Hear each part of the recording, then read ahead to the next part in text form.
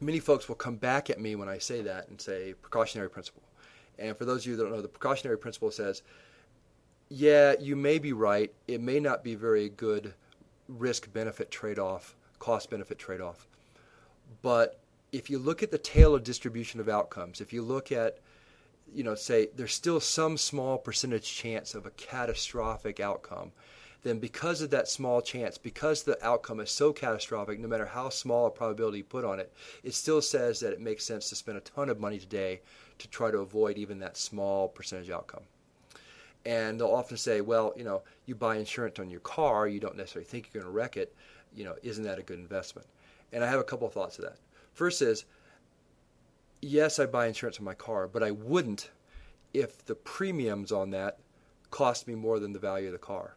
So I wouldn't pay $30,000 a year in insurance to avoid a $20,000 loss, which is some extent what I believe we're doing with CO2 abatement. The costs of CO2, I don't think people understand them. They're really staggering, and a lot of the media, I think, really tries to underestimate it by showing cutesy stories of little kids you know, drying their diapers on the washing line outside or collecting a few cans. We're talking about stupendous changes in the economy to make to make even small changes in CO2 output.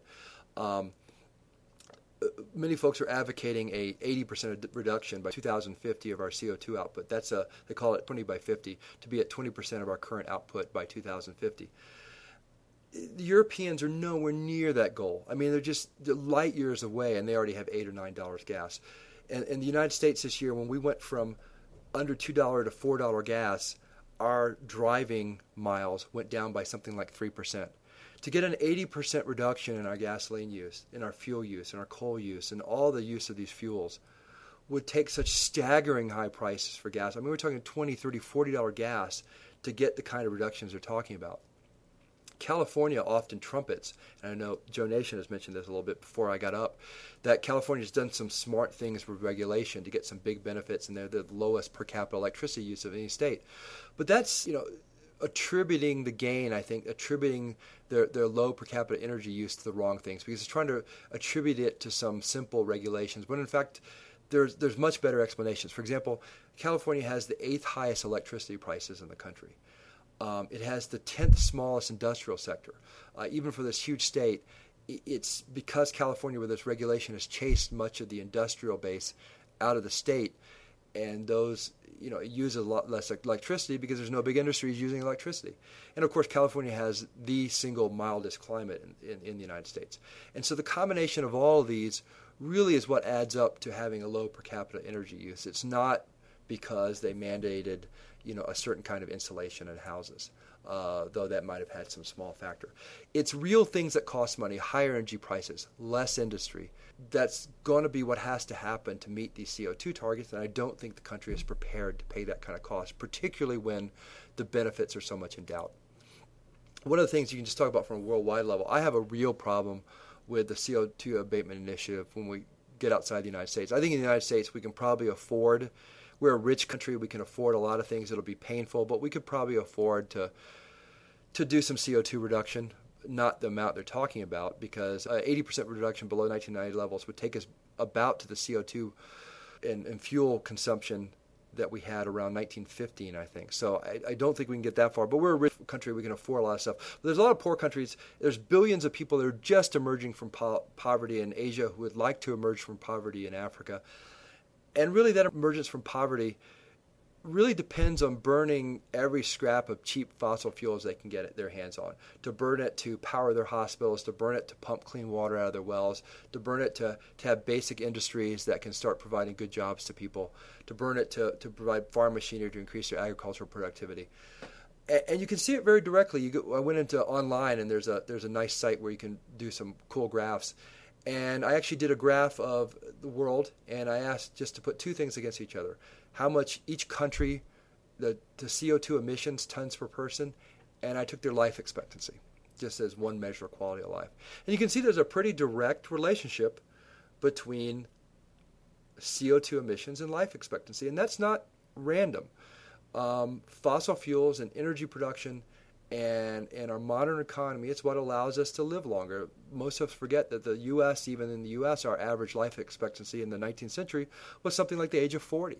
It's, it's, it's all these modern appliances and, and modern hospitals and clean water and modern pumps pumping that clean water that, that let us live so long. In fact, if you look at this regression, every, uh, every 10x increase, every 10 times increase in CO2 output increases life expectancy by about 15 years. It, there's a tremendous straight line relationship between you know burning fossil fuels, which is our cheapest form of producing energy, and, and, and development and longer life and prosperity for people who've lived in poverty for generations.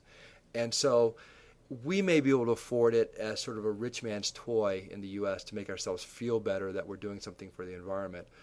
But in countries like Africa and Asia, the CO2 reduction is literally an issue of life and death. And it makes zero sense. It's the last thing these guys need to be worried about. Um, finally, here in the U.S., it, it seems that uh, with the political changes going on here in 2008, that some kind of plan uh, for CO2 reduction is almost inevitable. I'm, I'm hoping it's not too onerous and that you know a quick failure will show the world that needs to back off this plan. But I think it's almost inevitable. One plea is nowadays so many people seem attached to this cap and trade system. But the cap and trade system is a lobbyist stream. It provides nearly infinite space for influence peddling, special deals, exemptions, and you can see that already with the California Air Resource Board and the discussion that we've had today with the rural county commissioners. Everybody here has examples of the arbitrariness and the political dealing that's going on and CARB setting these various cap and trade targets for various industries. And there's a whole lot of unfairness already coming out, and it's just going to get worse. The simplest way to deal with this is just a carbon tax. Put a straight carbon tax on it and let economics and the price signal cause people to make their own choices of where they reduce CO2 and it just makes a ton more sense. The problem is that politicians are gutless. They do not want to put a anything that looks like a tax. Cap and trade is very much of a tax. It has the same effect as a tax. In fact, it's worse because it's less efficient. But politicians like it because it's hidden and it doesn't look like they put a tax on it, but in the end, it raises prices and has the same effects on, on availability of products as would a tax. It's just hidden and less efficient. But that's the, the, the type of thing politicians like to do. Also, there's no lobbying that anybody can do on a carbon tax. The carbon tax is the carbon tax. There's a ton of lobbying that they can do on a cap and trade system. And so this is a way that politicians can get a lot of attention from lobbyists and special interests, bring a lot of campaign money from people that want their industry to get a special exemption or some kind of special uh, notice in the cap and trade system. And I'll make one other observation. About 20 years ago, Al Gore was, for these reasons, a very big proponent of the carbon tax. Since then, Al Gore has joined the board of about a $2 billion investment company that makes investments in companies that depend upon using special allowances under cap and trade system to try to make money for themselves.